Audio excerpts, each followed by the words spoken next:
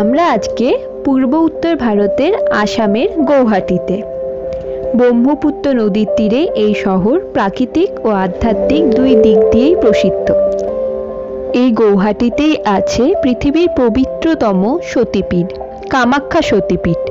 এখানে দেবী সতী জনিদেশ পড়েছিল। মা এখানে ভগবতী কামাখ্যা। এটি একান্ন সতীপীঠের অন্যতম। আসামের গৌহাটি শহরের পশ্চিমাংশে নীলাচল পর্বতে অবস্থিত এই সতীপীঠটি। এটি তন্ত্র সাধনার একটি গুহ্যপীঠ গর্ভগৃহটি মাটির নিচে একটি গুহা। কোনো মূর্তি নেই এখানে। একটি কুণ্ড আছে জনিকুণ্ড লাল কাপড় ও ফুল দ্বারা আবৃত থাকে কুণ্ডটি। মন্দির চত্বরে দশ মহাবিদ্যার মন্দিরও আছে। দশ মহাবিদ্যা হলেন দেবীরই দশটি রূপ। ধূমাবতী, মাতঙ্গী, বাগলা, তারা, কমলা, ভৈরবী, ছিন্নমস্তা, ভুবনেশ্বরী, কালী ও ত্রিপুরা সুন্দরী অম্বুবাচী চলাকালীন এই সতীপীঠ তিন দিনের জন্য বন্ধ থাকে। মন্দিরটি মুঘল রাজত্বকালে সম্পূর্ণ প্রায় ধ্বংস হয়ে যায়। পুনরায় মন্দির স্থাপন করেন ষোলোশো সালে কুচবিহারের রাজা নন্দনারায়ণ। কামাখ্যা মন্দিরে মোট চারটি কক্ষ, একটি গর্ভগৃহ ও তিনটি মণ্ডপ। সেগুলো স্থানীয় নাম চলন্ত নাট মন্দির ও পঞ্চরত্ন। মন্দিরে পাথরের উপর নানান ভাস্কর্য ও দেবদেবীর মূর্তি দেখতে পাওয়া যায়। মন্দির লাগোয়া একটি জলাশয় আছে সৌভাগ্যকুণ্ড। যেখানে স্নান সেরে দর্শনার্থীরা পুজো দেন মার কাছে।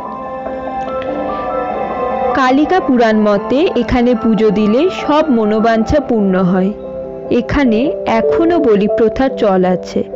দুর্গাপুজো ও অম্বুবাচী মেলায় এখানে খুবই ধুমধাম হয়। কামরূপ কামাখ্যা দর্শন করে আমরা যাচ্ছি উমানন্দ মহাদেবের মন্দিরে। ব্রহ্মপুত্র নদীর মধ্যে একটি ছোট্ট দ্বীপে এই মন্দির। এখানে পৌঁছতে হয় নৌকায়। অনেক সিঁড়ি পেরিয়ে তারপরে পৌঁছতে হয় উমানন্দ মন্দির। ষোলোশো চুরানব্বই সালে আসামের রাজা গদাধর সিং এই মন্দির নির্মাণ করেন। বলা হয়, যখন মহাদেব এই দ্বীপে ধ্যানরত ছিলেন, তখন কামদেব এই স্থানে আসেন ও তার ধ্যান ভঙ্গ করেন। দেবাদিদেব খুবই ক্ষুদ্র হন এই ব্যাপারে। দেবাদিদেবের ক্রোধে কামদেব ভস্য হয়ে যান। তখন থেকে এই স্থান ভস্যাঞ্চল নামে প্রসিদ্ধ। শ্রাবণ মাসে ও শিবরাত্রিতে এখানে প্রচুর দর্শনার্থীদের সমাগম ঘটে। বলা হয়, যখন দেবাদিদেব এখানে ধ্যানরত ছিলেন, তখন মাতা পার্বতী নীলাচল পর্বতে তার প্রতীক্ষা করছিলেন। তাই এই মন্দিরের নাম উমানন্দ।